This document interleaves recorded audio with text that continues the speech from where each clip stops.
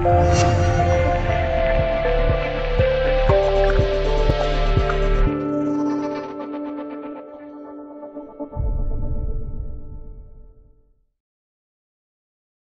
国媒体针对美国军人的民意调查显示，目前仅一半美军官兵担忧美国将很快陷入一场大战。美军担心全球不稳定，特别是对俄罗斯和中国的焦虑不断增加。美媒报道承认，这种弥漫美军内部的忧虑甚至恐慌情绪，是与美国政府在世界各地拉仇恨有关。据美国军事时报十月十六日报道，九月二十日至十月二日，该报与希拉丘兹大学退伍军人和军人家庭研究所合作。对美国军方人员进行了自愿和保密的在线民意调查。该调查问卷涵盖了从太空部队到他们对总统的支持，以及美国是否应继续向伊拉克派兵的几乎所有话题。报道称，在接受一名在线调查的美军现役官兵中，约百分之四十六的军人相信美国将在明年陷入新的大规模冲突。报道指出。在二零一七年九月进行的类似调查中，针对同样的问题，只有百分之五的人做出相似的回答，这是令人震惊的增长。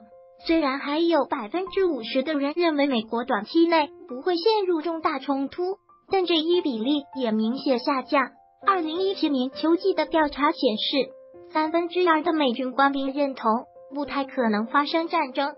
报道称，对未来战争的恐惧。来自于总统特朗普。过去一年中，他一再强调，在面对来自外国对手的威胁日益增强的情况下，要提高战备程度。外国对手既包括松散的恐怖组织，也包括传统的主要竞争对手。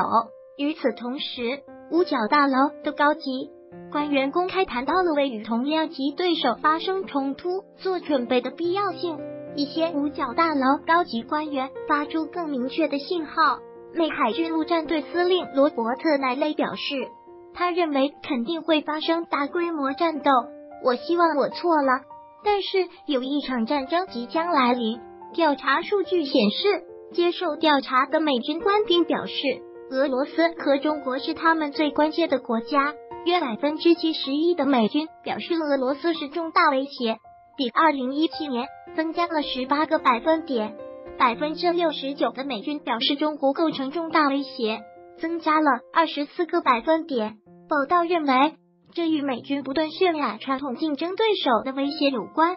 近年来，美国高级官员频繁发布有关中俄军事威胁的言论，加剧了美军担忧爆发大规模传统战争的情绪。而五角大楼接连发布的报告警告美军装备和训练不足，导致很多美军官兵出现世界大战将至的焦虑。